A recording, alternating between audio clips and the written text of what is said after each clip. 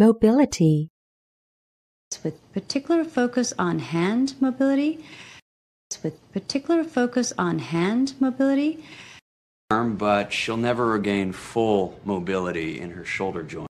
Arm, but she'll never regain full mobility in her shoulder joint. She wants back is her mobility. She wants back is her mobility. Right? You'd risk your patient's mobility for your pride. You'd risk your patient's mobility for your pride.